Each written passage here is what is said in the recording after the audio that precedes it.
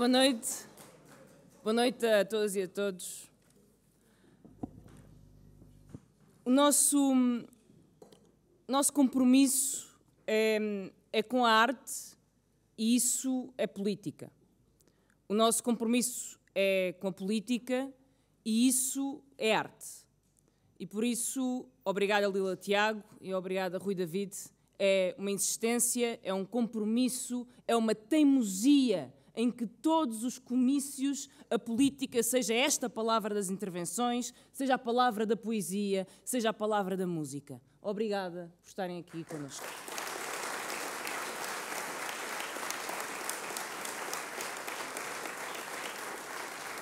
Obrigada também a esta incrível lista pelo Distrito de Braga. Uma lista incansável. Obrigada ao Miguel Martins, à Alexandra Vieira, obrigada à Sónia Ribeiro, obrigada ao Bruno Maia. Vocês, o vosso trabalho, a vossa luta diária em toda esta campanha, a forma como juntaram tanta gente nesta sala e em toda a campanha do Bloco, vocês vão garantir que Braga será esquerda no Parlamento no próximo dia 10 de março. Braga será esquerda no Parlamento. E é assim que fazemos a viragem. E obrigada, Francisco, por ter juntado a tua à nossa voz. Ninguém é feliz sozinho e a minha felicidade é imensa por poder contar contigo nesta campanha e na vida. E obrigada.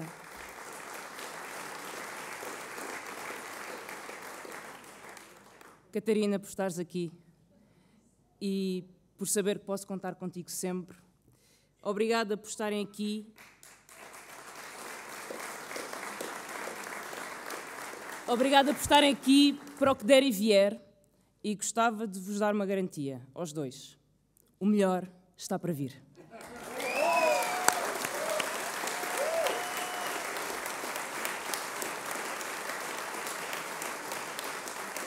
Gostava de vos falar sobre um dos riscos, talvez um dos maiores riscos destas eleições. E esse é o risco da continuação.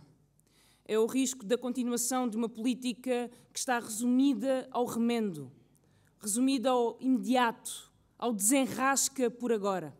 Uma política que varre as queixas para debaixo do tapete, que empurra a mudança que é necessária no país, como se tudo pudesse esperar por soluções reais e bastasse segurar as pontas com paliativos. O risco desta política é confundir com soluções com truques, com política de faz de conta. Faz de conta que se resolve, Faz de conta que se pode puxar a manta para cima sem destapar os pés.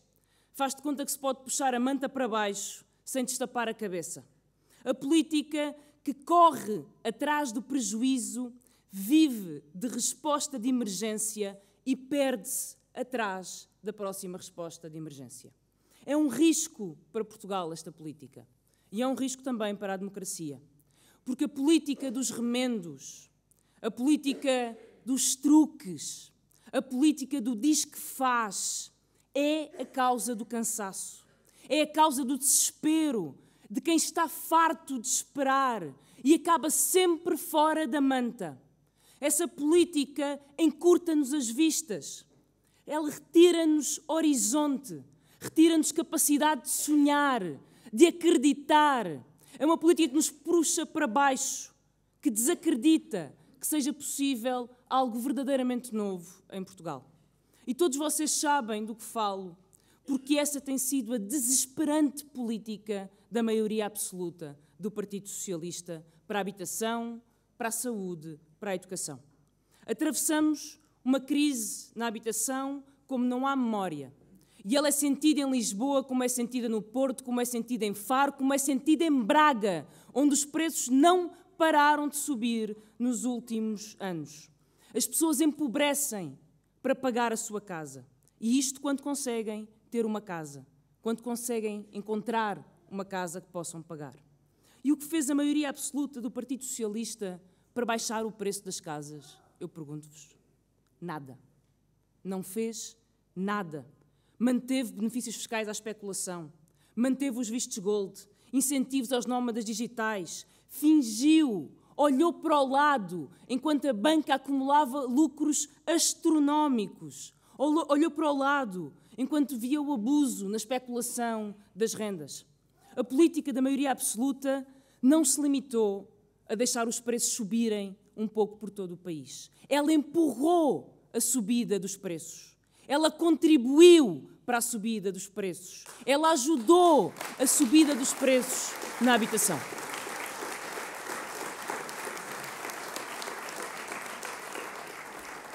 E quando a crise se tornou insuportável, quando se tornou verdadeiramente insuportável, quando milhares de pessoas saíram à rua há um ano, na primeira de grandes manifestações pela habitação, o que fez a maioria absoluta?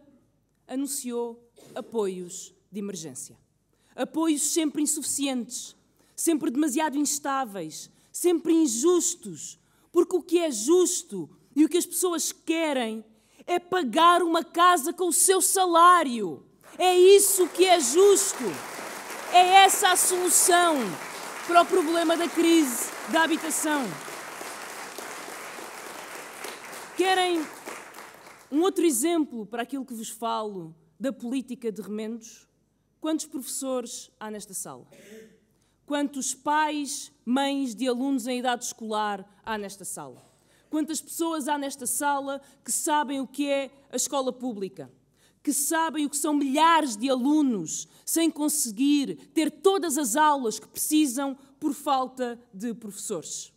Não nos esquecemos que foi a maioria absoluta do PS de Sócrates que congelou a carreira dos professores.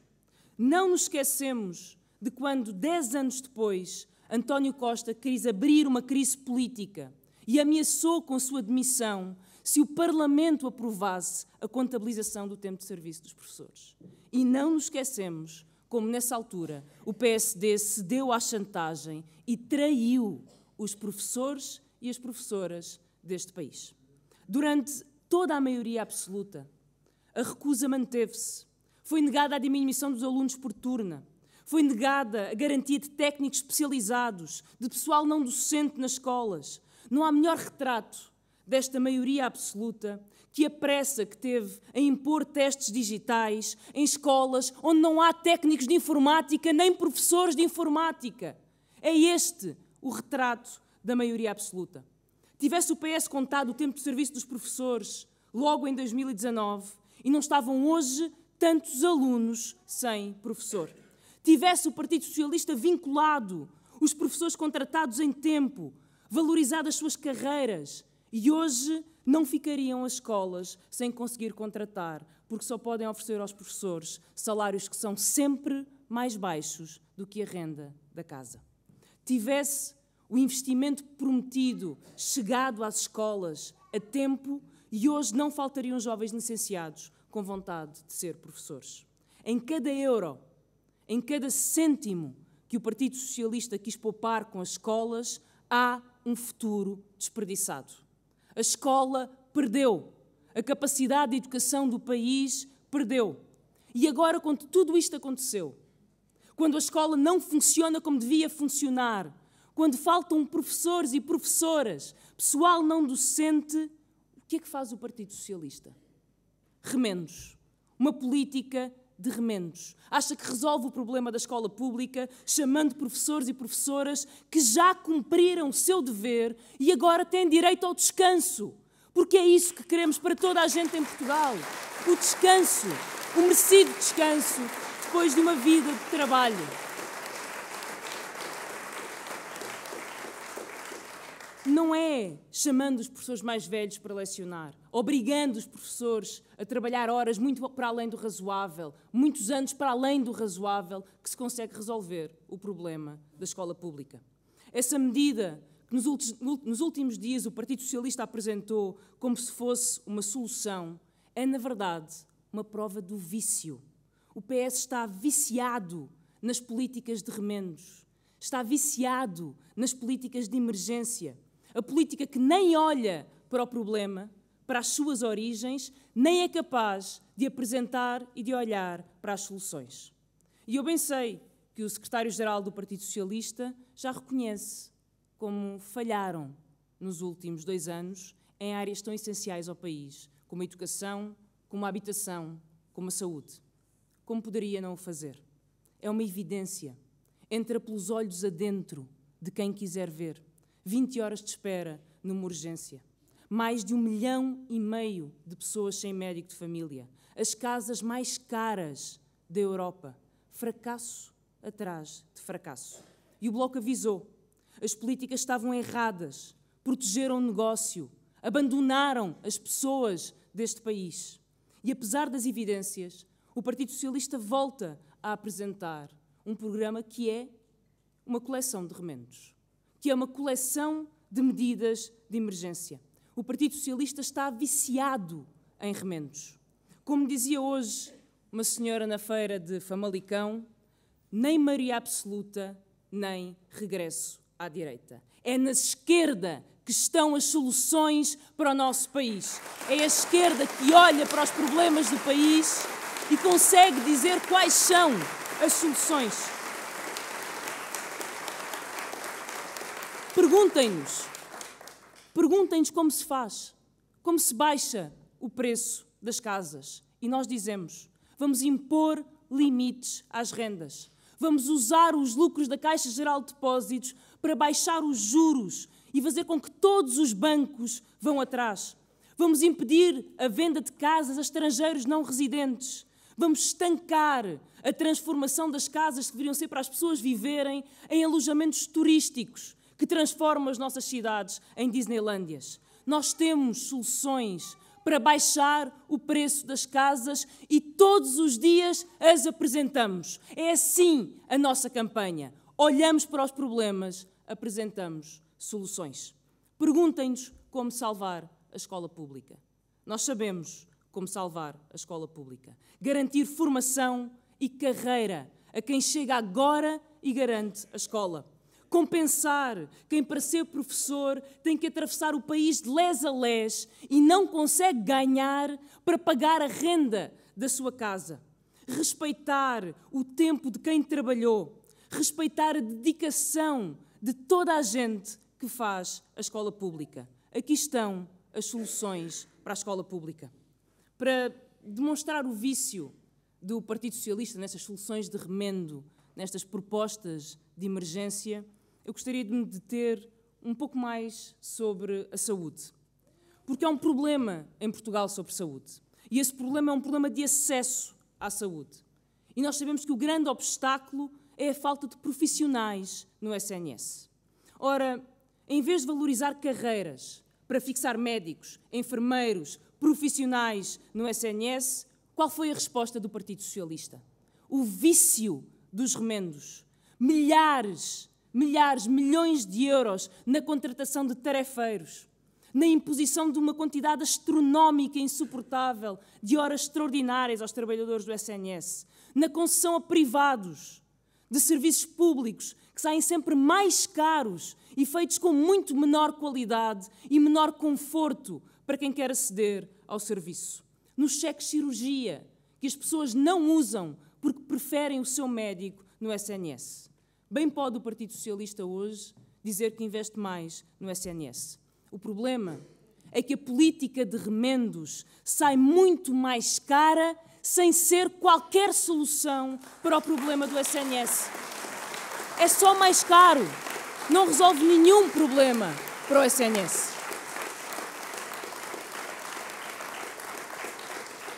Talvez tenham visto ontem, como eu vi, uma reportagem à porta de uma das urgências que deixou de receber doentes que chegassem sem referenciação ao hospital. Ou seja, só entra na urgência do hospital quem chegar com o INEM ou que se for enviado pelo centro de saúde ou pela linha SNS 24. Na reportagem, o jornalista fala com uma mulher com uma criança ao colo que não conseguiu ser atendida nas urgências. A aflição daquela mãe que foi às urgências e não pôde ser atendida porque não estava referenciada é a aflição do país. É claro, todos sabemos e todos concordamos, que ir às urgências deve ser o último recurso. É claro que a primeira linha até às urgências é o médico de família. Mas quantas pessoas estão em Portugal sem médico de família? Quantas?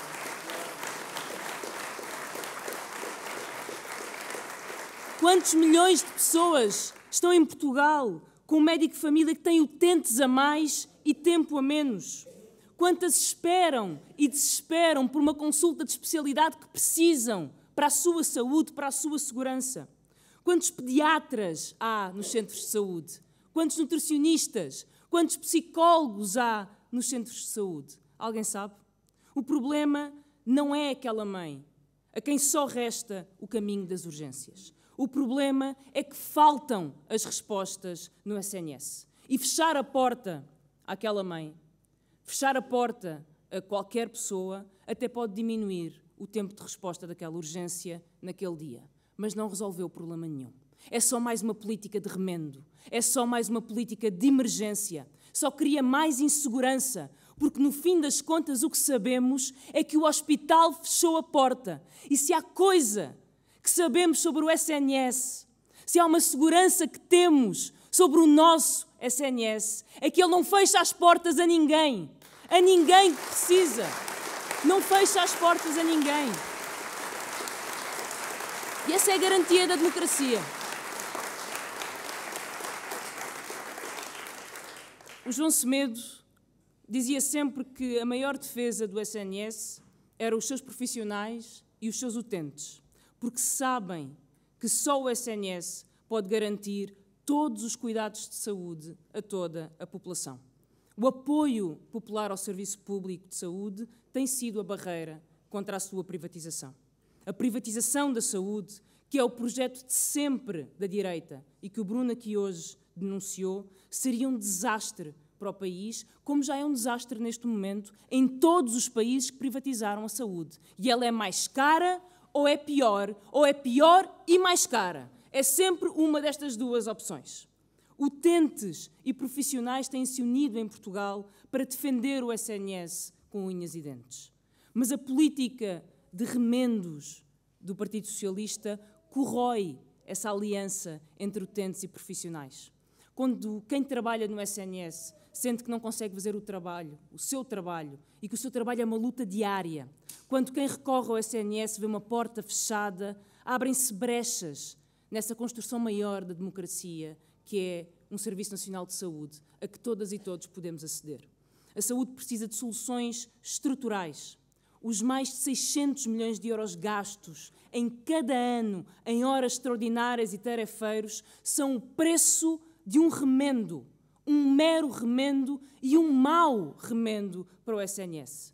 Querem saber como é que se resolve o problema do SNS? Salários justos, carreiras dignas são a única solução estrutural que não vive de remendos para preencher as vagas dos concursos que abrem, para fixar os profissionais que o SNS precisa. Há muitos que esses 600 milhões já deviam, ser, já deviam estar a ser usados para pagar estes profissionais, para pagar estas carreiras.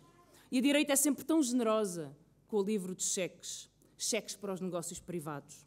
Mas em vez de cheque cirurgia, cheque dentista, de todos os cheques que a direita quer acrescentar àqueles cheques que o PS já criou e já distribui, não será melhor, digo eu, é radical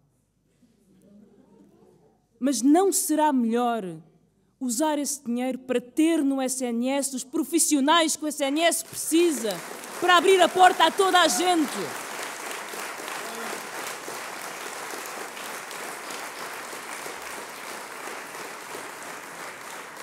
A questão aqui não é saber se de forma transitória deve ou não deve o Estado contratualizar como privado os serviços de que precisa.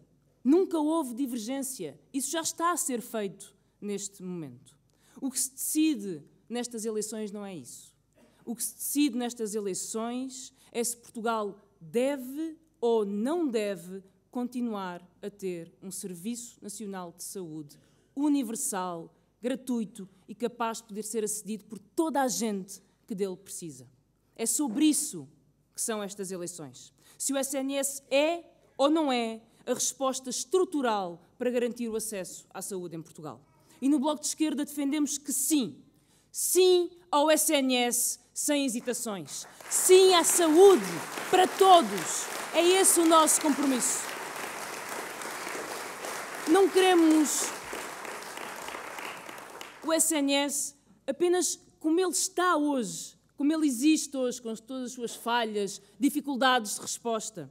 Queremos um SNS que responda aos problemas contemporâneos, aos problemas atuais, que construa novas respostas. Saúde mental, saúde oral, acompanhamento da doença crónica, novas respostas para o envelhecimento, promoção da saúde. Fazer o que nunca foi feito é ter um Serviço Nacional de Saúde forte, que dá garantias à população, que não fecha as portas a ninguém, que não deixa ninguém sem cuidados. Fazer o que nunca foi feito é ter a determinação e as propostas para um SNS que seja capaz de acompanhar a evolução da ciência, que conheça as necessidades de cada população que é servida por aquele serviço.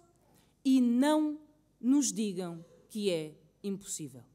Não nos digam que não pode ser feito. Porque nós sabemos, nós sabemos o que foi feito no 25 de Abril. Nós sabemos como construíram o SNS do nada. Nós sabemos como em poucos anos foi possível erguer neste país um dos melhores serviços de saúde do mundo. Nós sabemos como foi feito.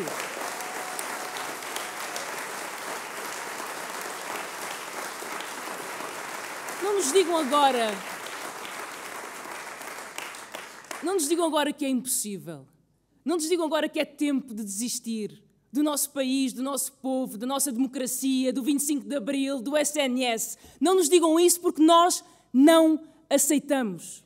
Porque os impossíveis de hoje são as rotinas de amanhã, como dizia o Bruno Maia. Os impossíveis de hoje são a verdade de amanhã, tal como antes do 25 de Abril. O impossível foi depois do 25 de Abril, um SNS que respondeu por toda a gente. O Bloco de Esquerda é a força que pode determinar todos estes caminhos no país a partir do dia 10 de março. Estamos a crescer e quem nos acompanha nesta campanha quem se encontra conosco na rua sabe que estamos a crescer. Agiganta-se o apoio a uma política exigente, com soluções exigentes que não desiste todos os dias de falar de problemas e de apontar soluções. E temos esta maior confiança. Viemos para ganhar. Viemos para fazer o que nunca foi feito em Portugal.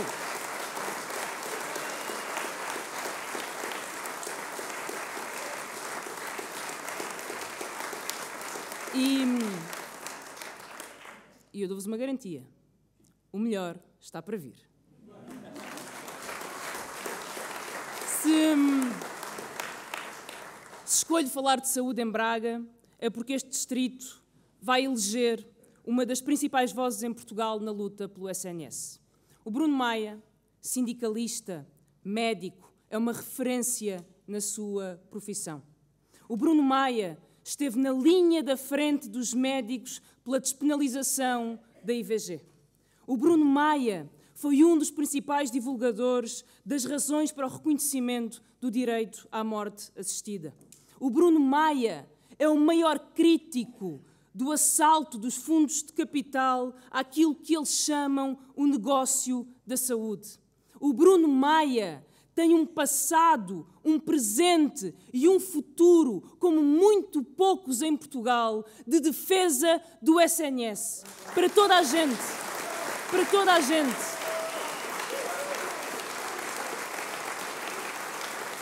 Não há muitos. Não há muitas que possam dizer o mesmo. O Bloco vai ser determinante numa maioria que governe para resolver o acesso de toda a gente à saúde, como à habitação, como à educação. Só o Bloco de Esquerda pode fazer o que nunca foi feito. Aqui em Braga, o voto no Bloco é o início desta mudança. Braga vai, vai voltar a contar com uma voz exigente no Parlamento, com a voz da esquerda no Parlamento. E é o Bloco E é a força do Bloco que está a crescer em Braga que vai mudar o jogo destas eleições. Eleger o Bruno Maia, eleger deputadas e deputados do Bloco em Braga, pela esquerda, é responder a todas as crises que se acumularam, é encontrar soluções. O voto no Bloco, o voto no Bloco em Braga é voto que elege, é voto que desempata, é voto que te defende, é voto que respeita, é voto que representa, é voto que muda. Esse é o voto no Bloco de Esquerda. Um voto para fazer o que nunca, o que nunca foi feito em Portugal. Faltam dois dias. Faltam dois dias. E nós levamos de Braga, levamos e continuamos em Braga, com toda a força, toda a força desta sala cheia, para saber que no dia 10 de março é Braga que colocará esquerda no Parlamento, a esquerda estará representada, é o Bloco de Esquerda representado no Parlamento.